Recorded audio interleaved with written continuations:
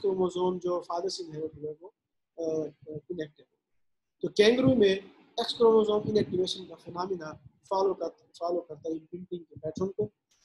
और इम्प्रिंटिंग के पैटर्न में कैंगरूज की प्रोजिनी में वही एक्स क्रोमोसोम साइलेंट रहता है जो फादर से इनहेरिट होने paternal specific X chromosome inactive रहता है और maternal specific X chromosome active रहता है। इन केस ऑफ़ क्योंकि ह्यूमन केस में ये फिनमिना रैंडम रहता है till the early embryonic stage and once it is defined कि किन सेल्स में किस पेरेंट ऑरिजिन के एक्स क्रोमोसोम इनएक्टिव हो गए तो उन्हीं सेल्स की जो फर्दर डिसेंडिंग सेल्स हैं, उनमें स्पेसिफिकली वही उसी पैटर्न उसी पेरेंट के specific X chromosome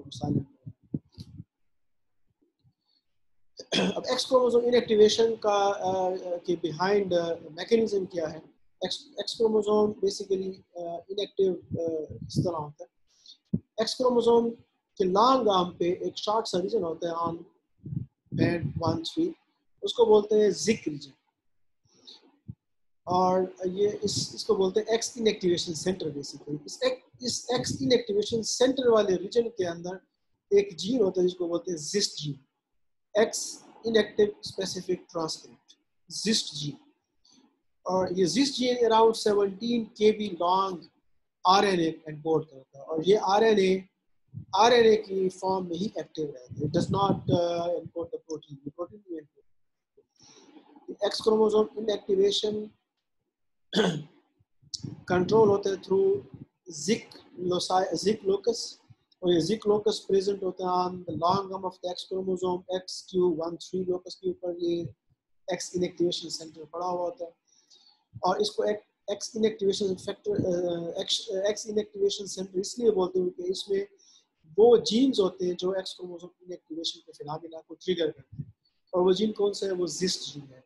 Xist stand for X inactivation specific transcript और ये जीन 17 के बी लॉन्ग आरएनए एनकोड करता है, जो कि एक नॉन प्रोटीन कोडिंग आरएनए है, जो आरएनए लेवल के ऊपर फंक्शनल होता है। सेवनटीन के बी लॉन्ग होता है।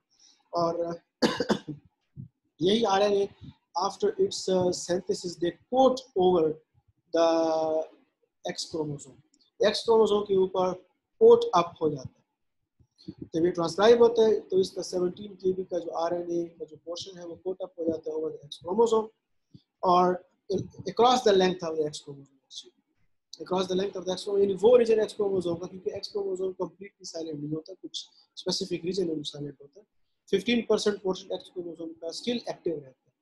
तो हम नेक्स्ट स्लाइड में पढ़ते हैं, वो कौन सा रीजन है जो सेलेक्टिव एक्टिव रहता है और बाकी का rest of X chromosome around you can say 80 to 85 percent X chromosome inactive हो है। तो जिस्ट का जब जब जिस्ट जीन का प्रोडक्ट बनता है, जो आर एन ए है तो ये कोट अप हो जाता है across the length of X chromosome और ये बेसिकली डीएनए से इंटरेक्ट करता।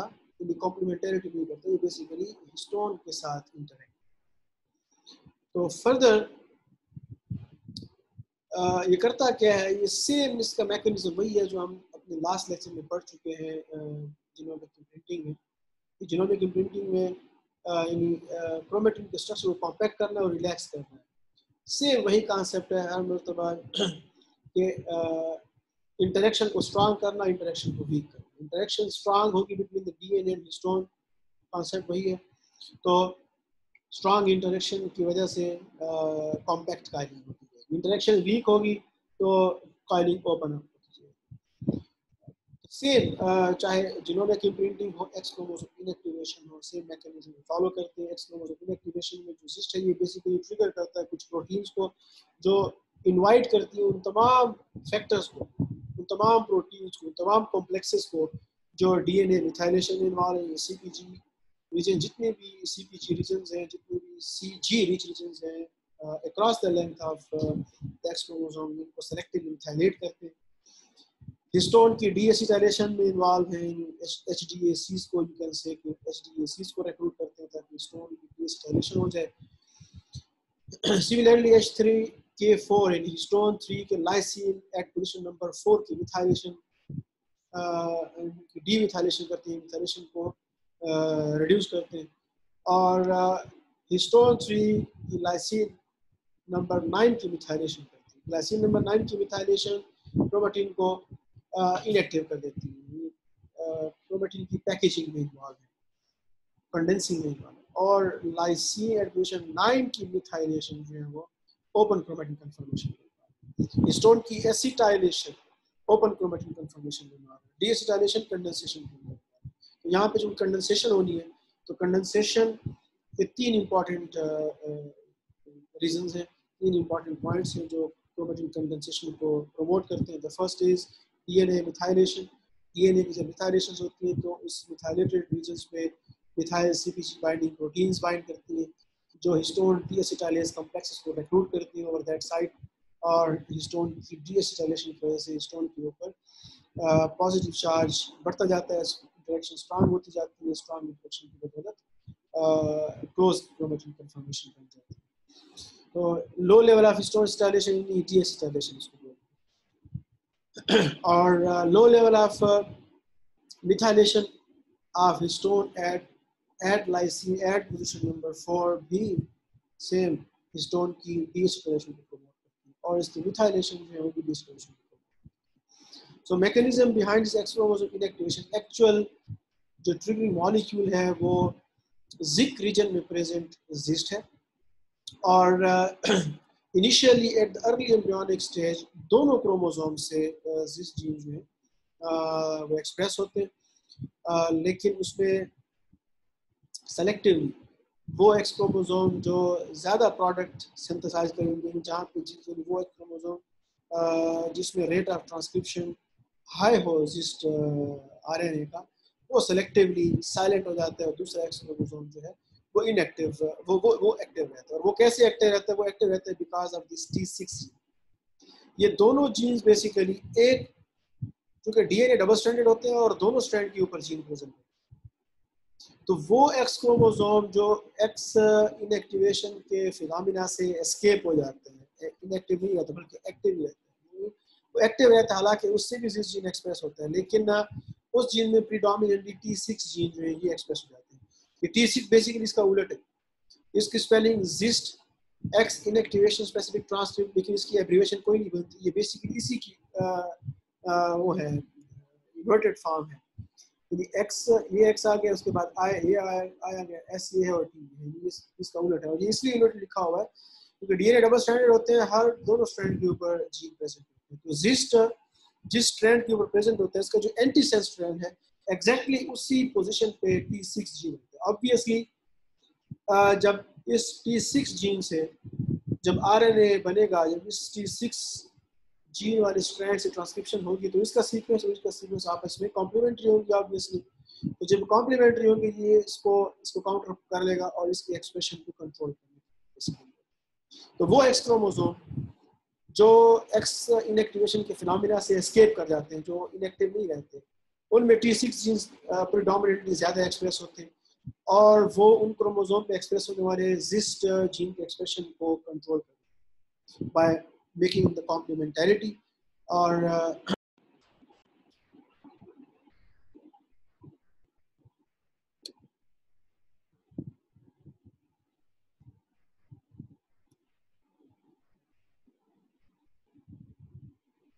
स्क्रीन शेयर है आवाज आ रही मेरी अभी जी सर आ रही है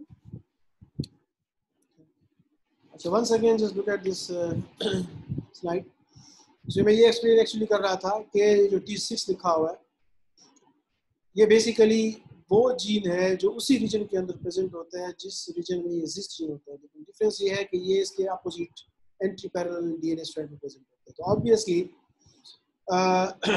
जब जिस जीन के एंट्री पैरेलल स्ट्रैंड से ट्रांसक्रिप्शन होगी, यानी इसके ये ये टी सिक्स जीन की ट्रांसक्रिप्शन इसके सेंस स्ट्रैंड से होती है। तो जब ये इसके सेंस स्ट्रैंड से ट्रांसक्राइब होगा तो टी सिक्स का सीक्वेंस और जिस का सीक्वेंस जो आपस में कॉम्प्लीमेंट तो ऑब्वियसली टी सिक्स जब जिस जीन के आरएनए को कॉम्प्लीमेंट करेगा तो जिस जीन एक्स क्रोमोसोम को कोट नहीं कर पाएगा। The first thing and secondly जो टी सिक्स है, ये फुल लेंथ आर एन इसका नहीं बनता, ये शॉर्ट शॉर्ट इसका आर एन ए बनती है इसलिए यानी ये टी सिक्स जिन का जो प्रोडक्ट है, ये फॉलो करता है small interfering R N A base gene silencing के मैकेनिज्म को, और ये सेलेक्टिवली उन एक्स क्रोमोसोम पे प्रीडोमिनेटली हाई एक्सप्रेशन होता है इस टी सिक्स जीन का, जो एक्स क्रोमोसोम इनएक्टिवेशन के फिनमिना को एस्केप कर जाते हैं, जो एक्टिव एक्स क्रोमोसोम होते हैं। उनमें टी सिक्स जीन प्रीडोमिनेटली ज़्यादा एक्सप्रेस होता है, ताकि वो जिस जीन को काउंटर कर सकें।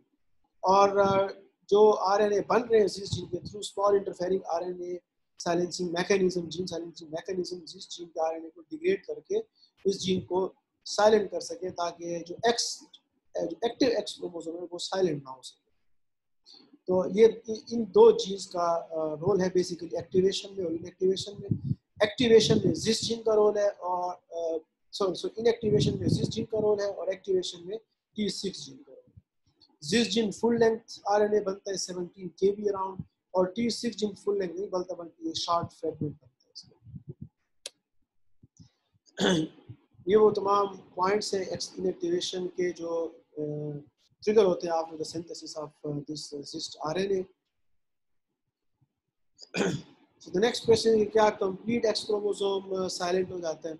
So the answer is no complete X chromosome silent नहीं होता। क्योंकि अगर कंप्लीट एक्स क्रोमोसोम साइलेंट होगा सो अगेन dosage imbalance बन जाएगी between the male and female क्योंकि female में Y का counterpart नहीं है और Y में uh, 17 to 20 25 uh, जो जीन्स हैं जस्ट वो मेल जेंडर स्पेसिफिसिटी की जीन्स हैं. Rest of the genes are involve in certain other developmental stages or some other biological processes तो अगर वाई का काउंटर पार्ट फीमेल में नहीं होगा और फीमेल का कंप्लीट एक्स क्रोमोसोम साइलेंट हो जाएगा तो फिर डोजेज इम्बैलेंस आ जाएगी towards the female side male में ज़्यादा प्रोडक्ट बनेंगे फीमेल में प्रोडक्ट नहीं बनेंगे.